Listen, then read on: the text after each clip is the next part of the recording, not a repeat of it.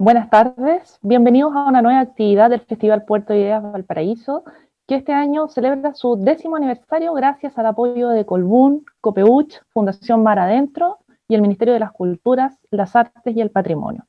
Mi nombre es Marcela Kupfer, soy periodista y quiero darles la bienvenida a esta actividad llamada Cancelación y Furia Iconoclasta, Destrucción o Resignificación. En esta oportunidad me acompañan dos destacados profesionales Gonzalo Rojas May, psicólogo y lingüista, y José de Nordenflich, historiador del arte, con quienes conversaremos sobre distintos temas como el poder de las imágenes, la libertad de expresión, los cambios culturales en tiempos donde los grandes paradigmas están siendo cuestionados en distintas partes del mundo. Iconoclasia y cancelación son dos términos que están en boga desde hace algunos años, probablemente con mayor énfasis en las últimas décadas, en la última década, donde distintos acontecimientos de orden global han generado eh, importantes discusiones públicas respecto de demandas sociales, culturales, políticas, me refiero, no sé, desde la crisis financiera del 2008 en adelante, el movimiento de los indignados, MeToo y otras tantas que, que han eh, visibilizado también y han sido acompañadas de estas prácticas. Si bien se refieren a conceptos distintos, iconoclasia y cancelación, eh, beben o se alimentan a lo mejor de una misma fuente, que vendría a ser eh, la guerra cultural, un campo de batalla eh, en ciernes, donde la lucha a lo mejor no es tan ideológica como ocurre en el siglo XX, sino más bien es una confrontación respecto de cuáles son los valores culturales que debemos considerar como legítimos y preeminentes en nuestras sociedades. En el último tiempo, esta guerra cultural, que ha estado enormemente potenciada por la visibilidad que le da a las redes sociales, ha tenido expresiones muy vistosas precisamente en prácticas como eh, la práctica iconoclástica y la llamada también cultura de la cancelación. Eh, la primera, es decir, la iconoclasia, dice relación con la destrucción de algunos símbolos públicos que son de alto reconocimiento, particularmente monumentos, estatuas, eh, que se ha reflejado en una práctica extendida en distintas partes del mundo en el último tiempo y que ha estado particularmente ligada a eh, movimientos sociales o protestas sociales muy masivas. Eh, sin ir más lejos, en los últimos meses hemos visto en Estados Unidos volar por los aires estatuas de generales confederados, de comerciantes de esclavos, incluso hasta de Cristóbal Colón. Y en Chile, eh, en el contexto de nuestro propio estallido social, también cayeron algunos como Pedro de Valdivia, Francisco Aguirre, Arturo Prat, y bueno, por cierto, el general Manuel Baquedano, que si bien es cierto todavía sigue en pie ahí en el corazón de la Plaza Dignidad, probablemente sea el monumento más alterado y resignificado que haya hoy día en el país. Eh, si bien pueden resultar impactantes, estas imágenes de monumentos cayendo no son totalmente nuevas.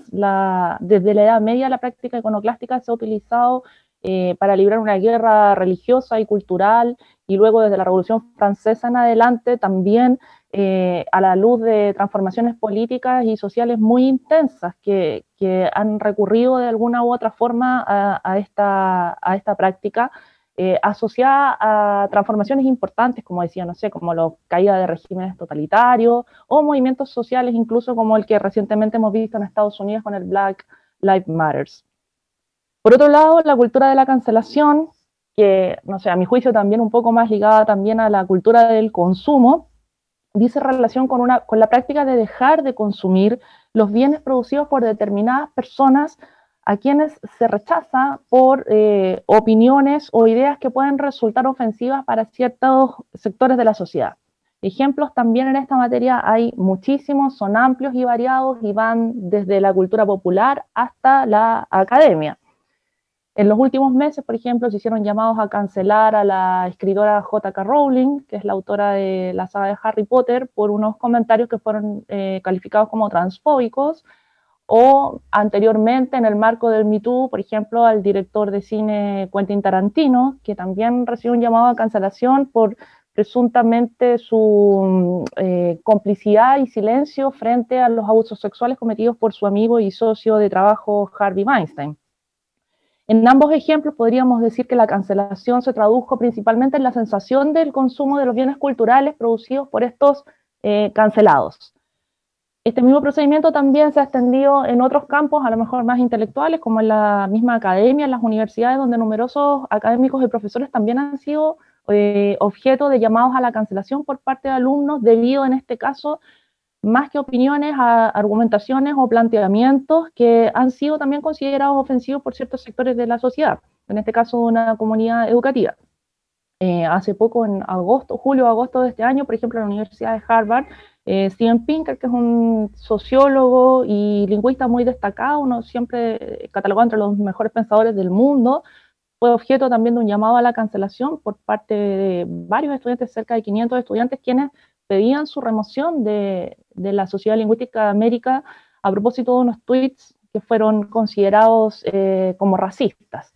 Pero el caso de Pinker no es único, también se, repite por otras universidades, eh, se extiende también en el ámbito académico, intelectual, y en ese caso la cancelación se traduce más bien eh, en el silenciamiento de determinadas posturas que son consideradas incorrectas. Como vamos a ver hoy día en el transcurso de esta conversación con nuestros invitados, en ambas prácticas, la iconoclasia y la cancelación, hoy día fuertemente apoyadas, como decía, en la masividad que le otorgan las redes sociales, eh, se debaten temas que son muy relevantes para las sociedades actuales. Por ejemplo, cuáles son los valores culturales que debemos considerar como prioritarios y preeminentes en una sociedad. Hay espacio para plantear una diversidad de puntos de vista, por ejemplo, sobre la historia, la cultura y la sociedad, en qué pie queda la libertad de expresión en este ámbito, cuán cerca están estas prácticas de la censura, o más bien nos enfrentamos a un proceso eh, natural y esperable de resignificación cultural de ciertos símbolos. De estos y otros temas vamos a conversar hoy día con nuestros invitados en este panel y me gustaría partir dándote la palabra, José, eh, para que nos des tu, punto de vista desde el punto desde la perspectiva de la historia del arte. Bueno, muy buenas eh, tardes a todos los que nos ven y escuchan. Una, gran alegría estar en el décimo aniversario de, Puerto Idea. Y una gran alegría estar con ustedes, ¿no? Con Gonzalo y Marcela.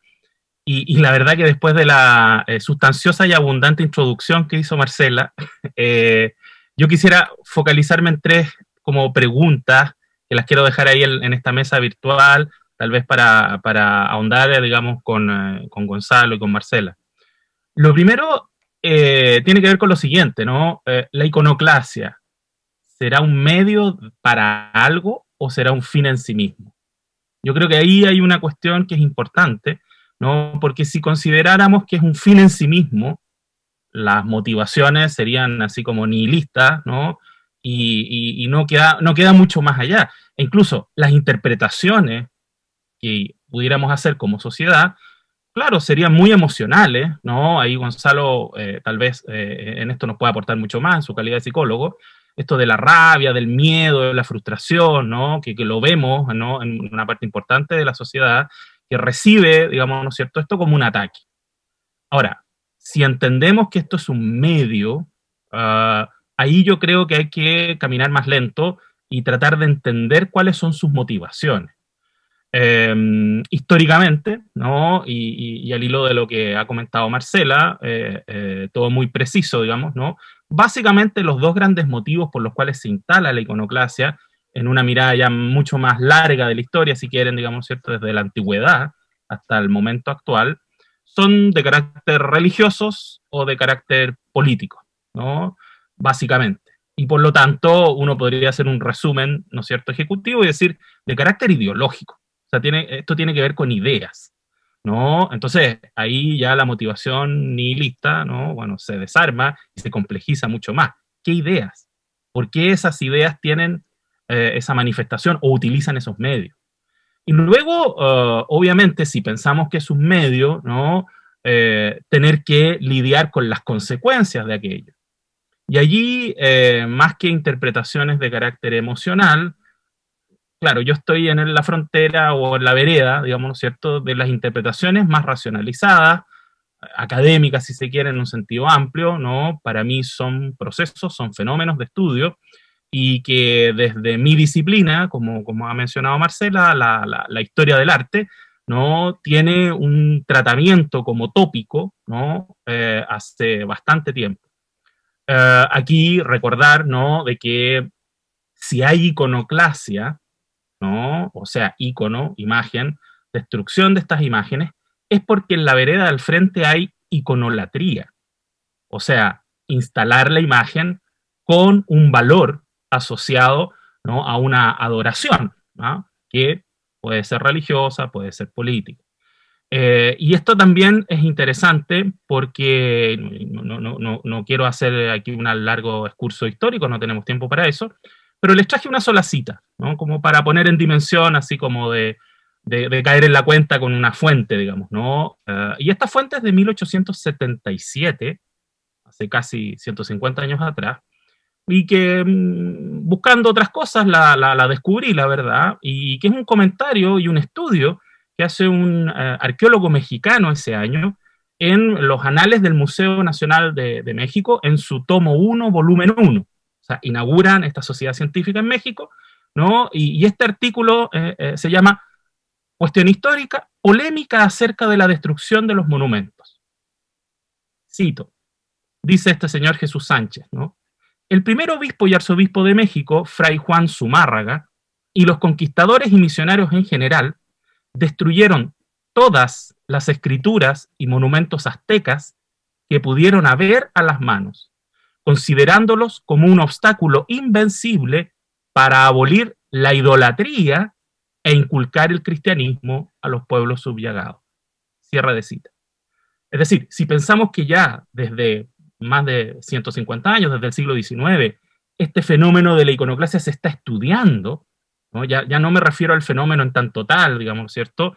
Y, su manifestación empírica en distintos momentos históricos, sino que quiero insistir en esto, ya es un tópico, ¿no? Desde la perspectiva del estudio de la historia del arte, es porque pone en, eh, eh, sobre la mesa, digamos, ¿cierto? Pone sobre, el análisis esta, este, este versus, ¿no es cierto? Esta, esta, esta confrontación que se produce entre la iconolatría y la iconoclasia venga de donde venga, y uno podría decir, y viceversa también, ¿no? Porque sabemos lo que pasa en México con la Revolución Mexicana y otros momentos incluso anteriores, en donde la iconoclasia va en sentido contrario, ¿no? Entonces, eh, a mí me parece que eh, esto es interesante, digamos, ¿no es cierto?, de caer en la cuenta, ¿no? Como una primera cuestión, ¿no es cierto?, si es un medio o es un fin. Lo segundo que quería eh, como preguntarnos, preguntarme con ustedes, es, bueno, establecido, digamos, ¿no es cierto? O por lo menos desde mi perspectiva, digamos, ¿no? De que esto es un medio para otra cosa, ¿no? Y no es un fin en sí mismo. Eh, no, no, es, no, es, simple y ni lista destrucción. Uh, ¿Cómo nos afecta y cómo nos implica? ¿no? Eh, las afecciones, ¿no? Que también Gonzalo ahí yo sé que tiene mucho que decirnos. Eh, y, y, vuelvo a mi argumento de las emociones, ¿no? Perfecto. Pero también cómo nos implica. Es decir, una cosa es que yo declare, digamos, ¿cierto? Mi, mi, reacción emocional, eh, no me gusta, me desagrada, o estoy a favor porque no sé qué idea tengo, o no sé qué, digamos, ¿cierto? Eh, cuestión despierta en mí, ¿no? Ese, ese, ese, procedimiento. Eh, la implicancia es una cuestión, digamos, ¿no es cierto?, que yo creo que hay que ponerle, ponerle atención porque, porque la, iconoclasia, ¿no? ya descrita, tiene esta suerte de, paradoja. ¿no? Es decir, yo condeno la iconoclasia en el otro, pero me guardo ¿ah? la posibilidad de ser iconoclasta cuando a mí me convenga. Y esa es una cuestión también eh, eh, interesante, digamos, ¿no? Porque el, grupo de actores que decide lo que se autoriza como patrimonio, en un acto de poder, ¿no? no solamente está señalando esto se va a conservar porque esto es importante en tanto monumento, sino que también en esa operación de selección está descartando una enorme cantidad de cosas. El poder del descarte es, a mi juicio, y de varios autores colegas de, la perspectiva de la historia del arte, ¿no? Eh, una acción iconoclasta. Porque decidir, por ejemplo, después de un terremoto, ¿qué vamos a dejar como ruina y qué vamos a dejar como escombro, o sea, como basura? ¿No? Es una operación de descarte compleja, ¿no? Es una operación de poder, digamos, ¿no es cierto? Complejo allí. Por lo tanto, eh, ya lo hemos visto en los tiempos recientes, digo modernos, ¿no? Desde la Revolución Francesa en adelante, algo de esto mencionaba Marcela, ¿no? Eh, la iconoclasia no se interesa por el pasado, claro que no, no, no, no le interesa el pasado, lo que le interesa es el futuro.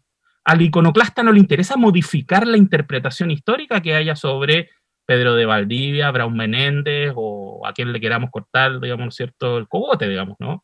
Hecho estatua. Ah, lo que quiere la iconoclasia es tratar de cambiar el futuro. Y por eso que la iconoclasia históricamente es un fenómeno que está muy asociado a los procesos eh, eh, revolucionarios. Y una tercera cuestión, y con esto termino, eh, una tercera pregunta derivada de lo anterior es, bueno, ¿qué hacemos con la iconoclasia?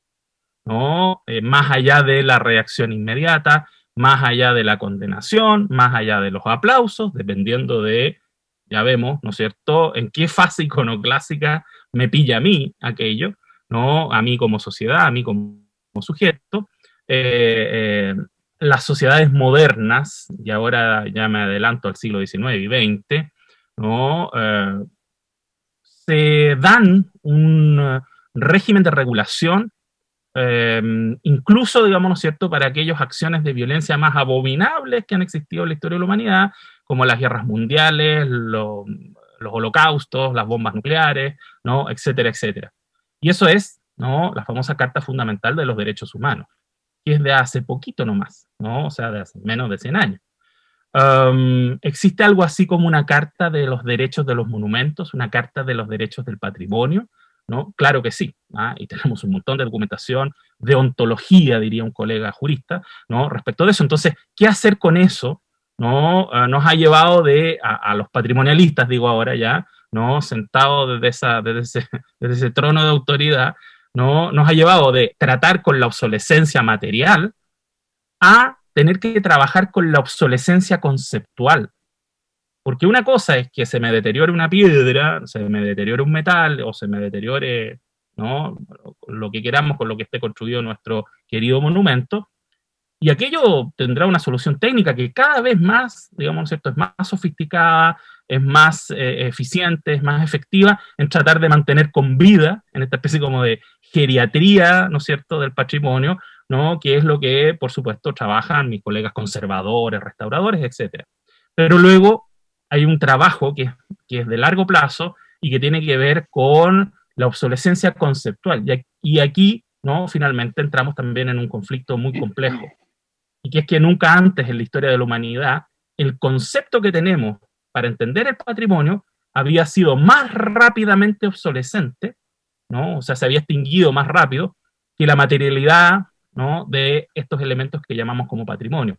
Es decir, lo que los griegos pensaron que había que hacer en mármol, los señores del Renacimiento estaban felices de que hubiera sido hecho en mármol. ¿Se fijan? Porque la estabilidad material que tenía aquello coincidía más o menos, ¿no es cierto?, con cierto etos respecto de que eso era valioso por tales o cuales razones. Hoy día, en cambio, muchas de las cuestiones que como sociedad creemos que son valiosas, no, no las creíamos hasta hace 50, 60 o 70 años atrás, y por lo tanto eh, tenemos la oportunidad, de algún modo, digamos, ¿no es cierto? Y por eso este descalce iconoclástico, y ahí yo creo que el tema de la cancelación tiene, tiene una voz muy interesante, digamos, esto como complemento a esta, a esta interpretación histórica. Eh, este, este, descalce, ¿no? este roce que se produce ¿no? entre las materialidades finalmente y la dimensión inmaterial del patrimonio, porque en definitiva los que recuerdan ¿no? y los que proyectan hacia las generaciones futuras el valor de algo somos los sujetos, no las piedras ni los metales. Muchas gracias, José. Yo creo que vamos a volver después en las preguntas también sobre respecto de esto de, qué hacemos con la iconoclasia y cómo manejamos estos, estos descalces que hoy día parecen producirse mucho más rápido, tal vez, que en, momentos anteriores de la historia. Eh, y eso es evidente. Eh, Gonzalo, te doy la palabra para que nos des tu, punto de vista. Bueno, muchas gracias, buenas tardes. ¿ah? Eh, primero que nada, quiero, al igual que José, manifestar mi, mi gratitud, estoy muy contento con esta invitación. Y la verdad quiero primero que nada aprovechar de felicitar a la Fundación Puerto de Ideas por el trabajo que han venido realizando durante los últimos 10 años, que es realmente eh, notable. Yo creo que el trabajo liderado por Chantal Señoro es realmente impresionante. Y estoy desde luego muy contento de estar con, contigo, Marcela, en este diálogo y, con José, desde luego. A ver, bueno, em, Yo creo que estos son tiempos vertiginosos, que duda cabe. ¿ah? Yo creo que el vértigo es, algo que está instalado en nosotros, la, inmediatez, la, percepción de presentismo, al menos en nuestro pequeño país y en nuestro pequeño mundo, ¿ah? desde el cual estamos hablando en definitiva.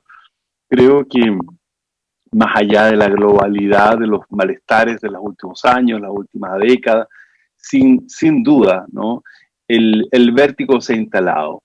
Y, creo que son, en ese sentido, eh, estos son buenos tiempos para el psicoanálisis y la lingüística, ¿ah? que son dos de mis disciplinas, porque nos están permitiendo entender y aprender muchísimo en vivo y en directo, eh, mucho más de lo que tal vez habríamos aprendido desde la teoría o desde un diván o en una misma sala de clase en los últimos años, en, las últimas décadas. Ahora bien, eh, vamos a, quiero, tratar de, hacer dos distinciones acá iniciales. Primero, eh, lo que estamos viviendo como sociedad eh, no es nada nuevo desde el punto de vista psicoanalítico. ¿no? Por un lado, la noción, la, hasta necesidad, si se quiere, de matar el padre o matar la madre, ¿verdad? Es, una suerte de, de, norma dentro del psicoanálisis. ¿no? La necesidad de diferenciarse, de quebrar con el pasado, de encontrar nuestro lugar en el mundo, de encontrar nuestro lugar en la historia. ¿no? Eso tiene mucho que ver con los procesos de madurez de los individuos y de las sociedades.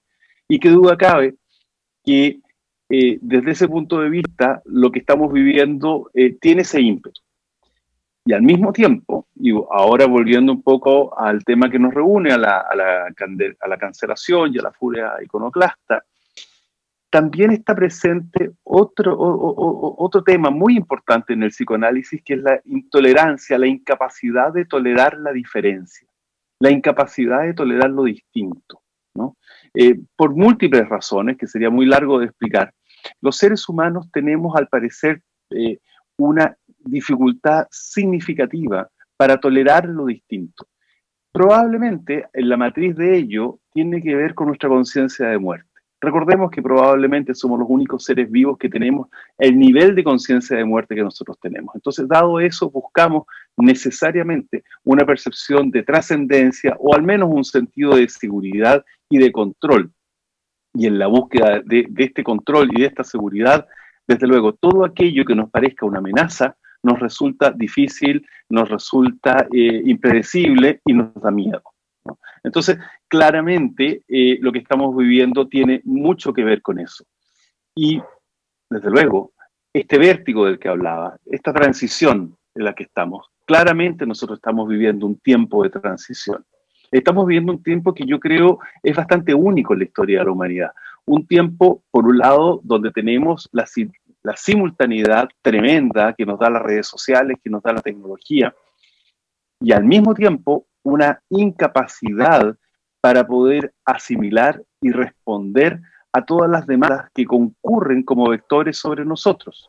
Las transformaciones en las normas sociales, las transformaciones en la idea de familia, las transformaciones en las expectativas, claramente han ido construyendo un malestar y han ido construyendo un desasosiego profundo en los seres humanos.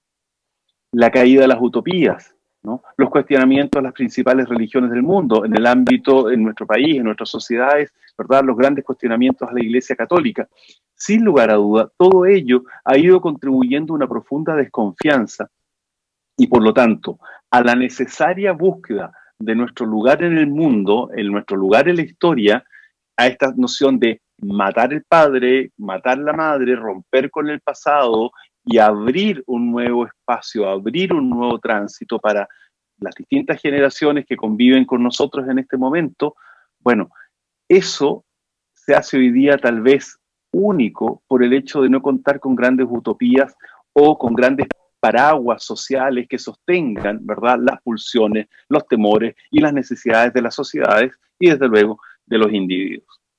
Ahora bien, Dicho todo lo anterior, que puede resultar desde lo teórico explicable y también debatible, como, como todas estas ideas, hay ciertas cosas que a mí en lo particular, desde lo psicológico, me preocupan.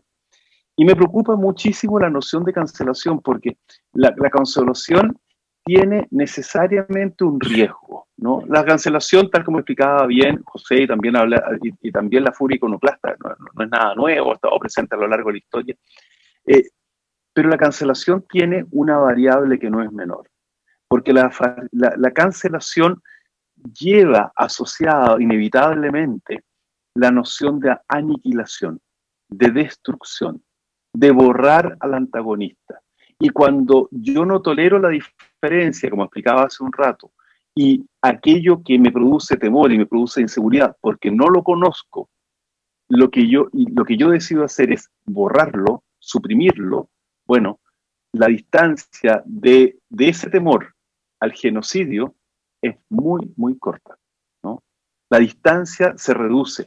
La posibilidad de que a partir de ideas de cancelación se instale una lógica de intolerancia, una lógica antidemocrática, una lógica populista que sea capaz de reimpulsar los totalitarismos brutales que tuvimos durante el siglo XX, no es una idea demasiado, no, no es demasiado loca, no está demasiado lejos, porque efectivamente si nosotros revisamos la historia, eso, e, este fenómeno, los fenómenos genocidas que han existido siempre, uno siempre cuando piensa en el genocidio piensa en el holocausto nazi, ¿verdad? lo que vivió el pueblo judío durante la Segunda Guerra Mundial. Pero esto está lleno de ejemplos a lo largo de la historia. Y siempre parte de esta noción de son distintos, son raros, son diferentes y no los acepto, ¿no? Y como no los acepto y no los entiendo, Además, lo que yo decido es suprimirlo. La cancelación es la, es la supresión. Si yo lo llevo esto ahora a una noción mucho más cercana, eh, más cotidiana, más en el día a día, bueno, esta noción de la cancelación también tiene que ver con la incapacidad de entender que una cosa, por ejemplo, es el sujeto que produce una idea, que produce una noción, y otra cosa es la vida privada de ese sujeto. Lo que Marcela, por ejemplo, se refería hace un rato atrás, ¿verdad? Al comienzo de esta conversación. O sea, cuando la cancelación lo que trata es no de cuestionar la idea o, la poesía de Neruda, por dar un ejemplo, sino que Neruda en su universo privado no, no, no cuestiona, no dialoga con el cine de Polanski, ¿verdad? Lo que hace es atacar a Polanski. Entonces ahí se produce una tensión que a mi juicio puede resultar extraordinariamente riesgosa, ¿no? porque yo esté defendiendo conductas que desde luego son inadecuadas, reprobables, abusivas, desde luego, yo creo que eso no está en cuestión, ¿no? Pero eh, esta incapacidad de sostener un diálogo, de sostener un debate, y en lugar de entrar al diálogo y entrar al debate, elegir el camino de la supresión del otro, de la aniquilación de la idea de este otro, me parece altamente riesgoso y, y complejo. Junto con ello, eh, parece importante entender acá que se nos está dando, se nos está produciendo un proceso también en que se mezclan dos dimensiones que son bien distintas, que son la memoria y la historia. La, la memoria es una experiencia esencialmente privada, es de un sujeto o de un grupo de personas pequeño, acotado. La historia es una ciencia social, ¿no? Entonces, cuando yo termino creyendo que la memoria es historia, bueno, ahí se produce una confusión que tiene un riesgo que es importante porque a quien nos, interesa la historia podemos perder objetividad, si es que eso es posible, ¿no? Y a los sujetos, a las personas, empezamos a entender la historia, empezamos a entender los fenómenos sociales, empezamos a entender los acontecimientos desde nuestra propia experiencia. Y es así como hoy por hoy se ha instalado y es cosa de meterse en una red social, ¿verdad? Si uno se mete a, Twitter y a, muchas otras redes sociales, uno, ¿qué es lo que ve ahí? Lo que ve ahí uno es la búsqueda de la validación de lo que yo siento. Porque de algún modo se ha instalado en nosotros, en nuestro tiempo, la percepción de lo que yo siento es la verdad. Y una cosa es la realidad afectiva, una cosa es la experiencia personal, que puede ser maravillosa o dolorosa o, puede tener de, ambos ámbitos como es la vida humana. Y otra cosa son los fenómenos, ¿no? los fenómenos históricos, los fenómenos sociales, que tienen lógicas mucho más complejas, que tienen lógicas mucho más diversas, donde confluyen dinámicas mucho más em, eh, con, lógicas que, que escapan muchas veces de la mera racionalidad individual. Entonces, eso me parece que, es importante aclarar, y no solamente que es importante aclarar, creo que sería importante trabajar. Yo, yo, en el caso de Chile, y voy a ser, insisto, un poco reduccionista tal vez porque, bueno, somos este, este grupo que estamos hablando acá, eh, somos chilenos y estamos hablando de Puerto Ideas, que es un festival de ideas eh, que nace en Chile, donde afortunadamente vienen invitados de distintas partes del mundo.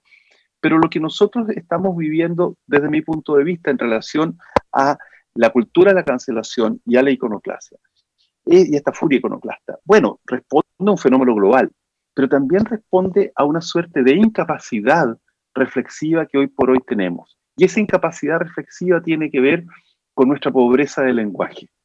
Los, los chilenos promedio, toda la mayor parte de nosotros, tenemos una dificultad mayor porque en las últimas décadas los sistemas de educación públicos y privados, ¿no? Eh, escolares y universitarios, fueron de alguna manera jibarizando la lectura, fueron jibarizando la educación cívica y fueron, por lo tanto, jibarizando la educación psíquica también. Y cuando no tenemos lenguaje para explicar lo que nos ocurre, ¿qué hacemos? Bueno, tratamos de ser reduccionistas. Y cuando somos reduccionistas, inevitablemente nos sentimos amenazados porque no entendemos. Cuando no se entiende un fenómeno, no es solamente porque yo no he tenido la posibilidad de conocer a un otro, de estar en un diálogo con un otro, sino que esencialmente porque no tengo lenguaje, no tengo recursos ni lingüísticos ni emocionales para entender a este otro. Y de ahí la respuesta psíquica muchas veces es o escapo, ¿verdad? O lo enfrento. Y, en este enfrentamiento, que lo deseable uno podría decir es el diálogo, el intercambio de ideas, el enfrentamiento ha ido deviniendo debido a las redes sociales, a la inmediatez y a otros fenómenos que los voy a tocar en un minuto antes de, cerrar esta parte de, mi exposición, ha ido deviniendo en un profundo temor, ¿no? Y en una pobreza de ideas y una pobreza de ideas que ha ido, en definitiva, minando de manera muy tremenda eh, la posibilidad del diálogo, del acuerdo y del debate. Ahora bien, la furia iconoclasta no es, no, es nueva, desde luego, ¿ah? y responde a fenómenos que han estado presentes a lo largo de la historia. Eh, en, América Latina tenemos un, símbolo que es evidente y que es tremendo al mismo tiempo. ¿no? Y, José se refería a eso de alguna manera en la cita que hizo de este mexicano. Si alguno de ustedes va a Ciudad de México, ¿verdad? Eh, y va al Zócalo, bueno, en el Zócalo que es la plaza ahí en el centro de México, bueno, está la gran catedral católica de México. Y esa catedral está ¿dónde? Está plantada encima del Templo Mayor, ¿no? O sea, eh, eh, esto, esto no es nuevo, ¿no? O sea, la cultura de la cancelación, lo que hace el imperio español cuando llega a América y planta sobre el templo mayor, ¿verdad? La catedral planta la religión católica, planta su noción de mundo, su noción de, su noción de realidad, su, su moral, en definitiva. Bueno, e, ese acto, que es un acto de una agresión brutal, tremenda, define en buena medida lo que vamos a terminar siendo en América Latina.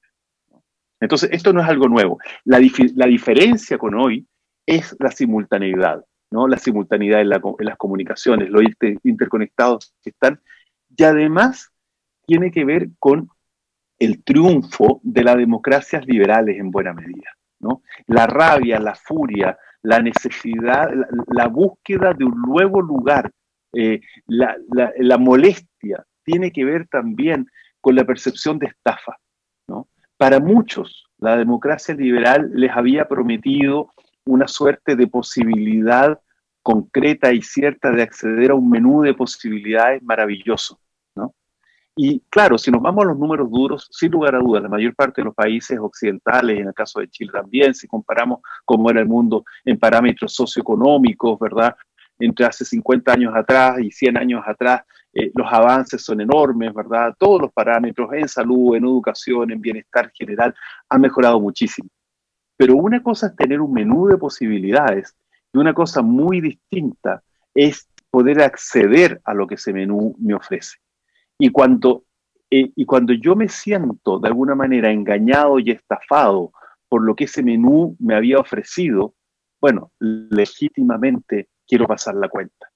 ¿Y cómo quiero pasar la cuenta? Diciendo, bueno, esto en definitiva no es el modelo que yo quiero. Hay una parte de él que me hace sentido, que me gusta, pero hay ciertos íconos del modelo que me resultan agresivos, me resultan representativos de mi fracaso, del fracaso social, del fracaso del país y del fracaso del Estado.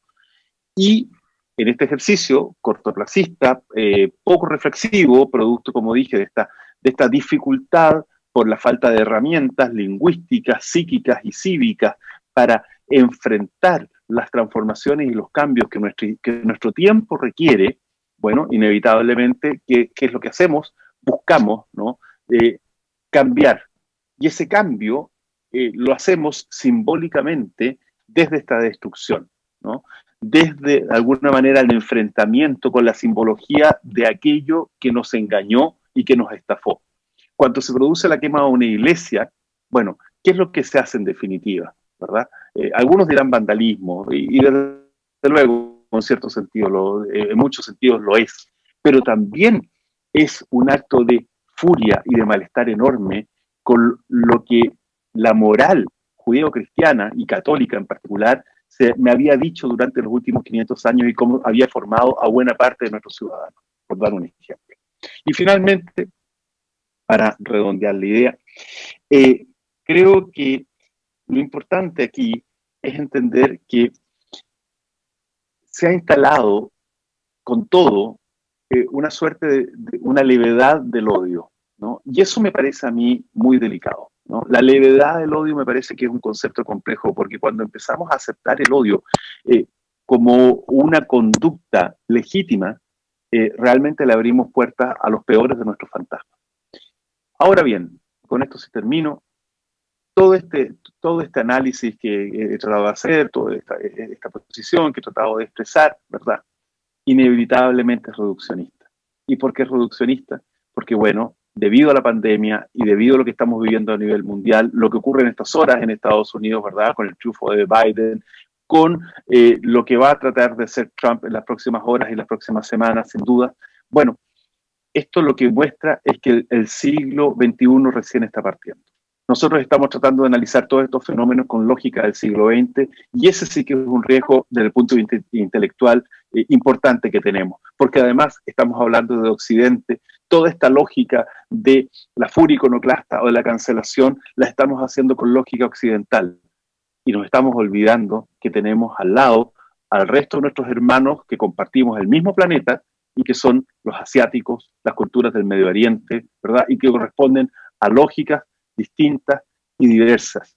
Si nosotros pretendemos que nuestro debate y nuestras ideas son efectivamente las ideas las cuales tenemos que centrar nuestra atención, una vez más vamos a estar siendo reduccionistas. Muchas gracias, Gonzalo. Efectivamente, son temas sumamente complejos de abordar en, poco tiempo y, también pillados por, por lo vertiginoso de los cambios de este siglo XXI también, que comparto contigo, muchas veces miramos desde la lógica del siglo XX, que no es la misma. Nos queda poquito tiempo, pero quiero alcanzar a hacer algún, un par de preguntas para eh, cerrar los temas. Eh, y José, quería retomar un poco lo que habías planteado tú en tu exposición a modo de pregunta de qué hacemos con la iconoclasia y tratar de aterrizar o de eh, al menos proyectar alguna opinión respecto de efectivamente cómo podemos solucionar hoy en día como sociedad este debate que se genera en torno a ciertas obras de arte que, forman parte igual de nuestro patrimonio o del acervo cultural de una comunidad, eh, que están en los espacios públicos, estatuas, monumentos, y que en algún momento de la historia o del cambio social pasan de ser eh, figuras exaltativas a ser eh, figuras derechamente ofensivas. No sé cuál es tu punto de vista, ¿Qué, qué, cómo crees tú que debemos solucionar esto? ¿Derribando efectivamente las, aquellas obras que ya no nos representan o bien tratar de abrir espacios para nuevas expresiones que sean más significativas para nosotros. Incluso te lo puedo cerrar particularmente en el tema del, monumento de Baqueano, qué hacer, lo pintamos, lo dejamos, lo sacamos, lo ponemos como una forma de simbolizar en realidad lo que pasa en torno a estas obras de arte que, que pueden resultarnos incómodas eventualmente con el paso de tiempo. Las dejamos ahí, abrimos otros espacios, las sacamos, las reemplazamos por algo que nos haga sentir más cómodo. ¿Cómo lo ves tú? A ver, eh, muy, muy, muy directo, ¿no? En atención al tiempo. Yo creo que hay, tres niveles de, aproximación a, qué hacer, ¿no? El primero es como el de los primeros auxilios de la posta, ¿no? Si me permiten la metáfora, ¿no? Médica, porque eh, los primeros auxilios no curan las patologías crónicas. O sea, es evidente, ¿no? Que frente a problemas que pudieran surgir de cara a la, yo diría, desaparición total del vestigio físico del monumento, ¿no? En, esta, en este ataque iconoclasta. Allí, bueno, evidentemente la ley tiene que operar, hay una ley que nos rige, hay un Consejo de Monumentos Nacionales, hay un mandato, eh, etcétera, digamos, ¿no? O sea, eso yo te diría así como, eh, tiene que funcionar lo que tiene que funcionar. Y cuando digo eso, estoy diciendo una cosa, ¿no? Muy clarita, que es la siguiente que la Intendencia de Santiago llegue y pinte con cualquier pintura a la rápida, ¿no? En, no sé, en menos de seis horas de ocurridos los eventos, para que al otro día, digamos, ¿cierto? En la lógica de ornato y aseo, esto aparezca lindo para alguien, eso, por supuesto, va en contra de la ley de monumentos nacionales, primero, va a ser claro. ¿no? O sea, se fijan, o sea, incluso desde las visiones, si tú quieres, más, más, conservadoras y más ajustadas, como hacía una mirada jurídica dentro de esto, el procedimiento eh, es bastante irregular. Entonces, no nos apresuremos, ah, claro, eh, porque podemos tomar decisiones allí que técnicamente incluso generen más daño que el que supuestamente, digamos, cierto, estamos tratando de solucionar. Eso como primera cuestión, digamos, ¿no? Desde el mundo, si tú quieres, como de la restauración y la conservación. Desde el mundo del arte, ¿no? Ahí hay una discusión que es más complicada aún y que tiene que ver con la posibilidad que un artista contemporáneo, ¿no? Eh, haga de un elemento preexistente de otro artista parte de su obra. Eso en la literatura lo conocemos hace mucho tiempo y se llama la cita, la paráfrasis. Bueno, hay una serie de denominaciones técnicas para hablar sobre eso. ¿no? Y que en el ámbito de las artes visuales, si tú quieres, si me apuras como a, como a la lógica de la escultura, dejo aparte la arquitectura porque eso es lo tercero que quiero mencionar. En el ámbito específicamente de la escultura y, del monumento público, bueno, las apropiaciones que se puede hacer un artista contemporáneo respecto de eso pueden tener un germen iconoclasta en su sentido, en su contenido, en su posición política incluso, que es legítima que cada artista tenga la que, la que le interese, ¿no? pero la metodología con la cual trabaja, si no es eh, irreversible, como por ejemplo lo que ha hecho Delight Lab, ¿no? y que conocimos hace unas semanas atrás, ¿no? desde la Galería Cima, que proyectan un efecto lumínico, que arman figuras, etcétera, etcétera, que eso se censure, que eso se trate, digamos, ¿cierto? como de, ¿ah? de cancelar por la autoridad, por razones políticas, no por razones artísticas, claramente, ¿no? A mí me parece que es un contrasentido, porque claramente, ¿no? La libertad del artista contemporáneo para trabajar con los artistas preexistentes, bueno, es parte de, ¿no? Es parte del estándar del arte contemporáneo hoy día, ¿no? Habría que estar pensando como en el arte, como, como con una cabeza del siglo XIX, para pensar que no, que eso es intocable, ¿no? Entonces, ahí hay una segunda, si tú quieres, son dos extremos del asunto, ¿no? Y, termino con el tema de la arquitectura, que a mí me parece que, por un lado, es mucho más sencillo, ¿no? Porque si a un edificio lo pintarrajean en su fachada, la afectación que tiene eso, ¿no? Es bastante sencilla de revertir, Y de manera. En donde hay, mucho, digamos, ¿no es cierto? Podrán decir también los restauradores de arquitectura en eso, hay mucho que decir en torno a eso. Y evidentemente que, claro, si yo quemo un edificio entero y desaparece piedra sobre piedra, digamos, todo el edificio, esa operación puede ser mucho más onerosa, mucho más complicada, pero se puede, ¿no? Entonces, eh, el, asunto no es eh, tanto, voy a insistir en ese punto que planteé al principio, en, eh, focalizarse en una sobrereacción respecto de las materialidades, sino que más bien respecto de los sentidos.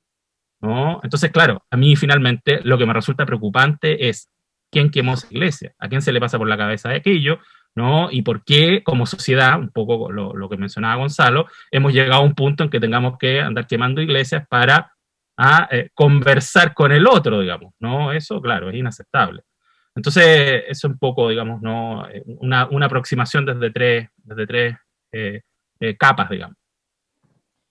gracias, José. Gonzalo, y para rematar, bueno, tú hiciste una exposición muy completa, yo creo, respecto de una descripción de, de qué se alimenta un poco esta cultura de la cancelación, como lo hemos llamado, de mucho miedo, obviamente. Yo creo que también esta alta sensibilidad que existe debe ser también una, una manifestación de ese miedo, ¿no? Que reaccionemos ante a veces un puro tuit, a veces una frase suelta y, eso genera reacciones también de, mucha intolerancia en algunos momentos. Yo creo que todo esto tú lo, lo, planteaste de buena forma. Yo quería cerrar un poco este debate respecto al tema de la circulación de las ideas y esta y estas prácticas de la cancelación. Me recuerdo hace poco, tú te debes acordar también del debate que se generó cuando la plataforma HBO retiró temporalmente lo que el viento se llevó, después la volvió con, una, con unos mensajes de advertencia.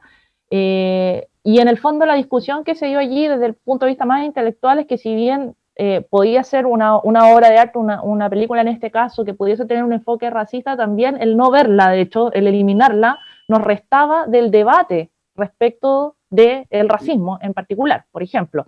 Eh, entonces quisiera saber desde tu punto de vista si, estas culturas de la cancelación y todo lo que hemos estado conversando hoy día ponen en peligro la libre circulación de la idea y más aún todavía eh, la realización de ciertos debates que, no sé, a mi juicio me parece que son fundamentales hoy día para la democracia. Eh, bueno, yo, coincido mucho en, tu pregunta, análisis que estás haciendo. O sea, claro, yo creo que efectivamente la, democracia hoy día, o lo que nosotros entendemos por democracia, está, en riesgo ¿ah? a, nivel mundial. Y está en riesgo por distintas razones, por los populismos, ¿verdad? Por, ya, lo mencioné, ¿verdad? Hay, hay, eh, eh, regímenes totalitarios o ideas totalitarias latiendo en todos los rincones del planeta. Y el problema está en que si efectivamente nosotros dejamos, escondemos, eh, obviamos cancelamos aquello que nos atemoriza, aquello que no nos gusta, no por ello lo suprimimos. Eh, eh, las ideas siguen vivas, siempre. Y, mientras más las conozcamos, de mejor manera las podemos enfrentar. Con aquellas con las cuales no estamos de, acuerdo, la mejor manera, o sea, cuando se, cuando se prohíbe Mein Kampf de, Hitler, ¿verdad? Ese es un grave error. Una manera eh, consistente, importante, de pararse frente al nazismo no es no leer Mein Kampf, todo lo contrario, entender la pobreza de ese, de ese discurso, entender lo lamentable que es toda la elaboración que construye Hitler y cómo desde ahí, ¿verdad? Bueno, esto deviene en el horror que todos conocimos y, conocemos, ¿no? O sea, algunos creen, ¿verdad?, que visitar un campo de concentración o leer una novela o ver una película que toque el nazismo es importante y puede ser hasta suficiente para confrontar el nazismo. No digo que no sea así, creo que eso es realmente eh, fundamental, importante, los europeos lo, han aprendido así, pero entender la lógica del nazismo, entender cómo habita el sujeto nazi, la idea efectivamente del aniquilamiento del distinto, del diferente, creo que es fundamental. Entonces, eh, necesariamente esto nos pone en una posición que es muy significativa, porque tenemos que entender que si no somos capaces de confrontar ideas, de abrirnos a nuevas perspectivas, sin renunciar a aquellos fundamentos que nosotros consideramos que son intransables desde el punto de vista democrático, desde el punto de vista valórico, ¿verdad? Eh, ciertos principios éticos y morales que como individuos o sociedades podamos tener. Porque además, aquí no hay que olvidar algo. ¿ah? Eh, eh, la, noción de iconoclasia y la noción de cancelación sigue siendo tan potente porque hasta el día de hoy Dios sigue siendo un estupendo argumento para el horror. Si no, veamos lo que pasa con los atentados, ¿verdad?, de los fanáticos musulmanes, ¿no? O sea, la sola noción de Dios ha sido a lo largo del tiempo de la historia un ejercicio o un fundamento, perdón, tremendo para cosas dolorosísimas. Pero no por eso vamos a dejar de tratar de entender lo que es la noción de Dios para cada uno de los seres humanos y para las distintas culturas. Muchas gracias, Gonzalo. Lamentablemente el tiempo nos pilló. Yo creo que este tema da para una conversación muy extensa, porque además son temas muy contingentes hoy día y, que también coincido con, los invitados, requieren una reflexión mucho más profunda que tal vez hoy día por la inmediatez de, la, de, nuestra vida, de nuestra sociedad, no, no, se da, no se da en todo el, eh, en, todo el volumen que debería ocurrir. Eh, quiero agradecerles, Gonzalo, José, por sus excelentes presentaciones, por la conversación que nos han brindado a todos quienes están viendo hoy día la transmisión de Puerto Día y quiero aprovecharlos de dejar invitados para que sigan viendo las actividades de este festival, reflexionando, aprendiendo, pensando. Mañana quedan muchas más actividades, así es que están todos convocados a seguir eh, reflexionando en torno a este Festival de las Ideas. Muchas gracias por acompañarnos. Hasta una próxima actividad. Muchas gracias.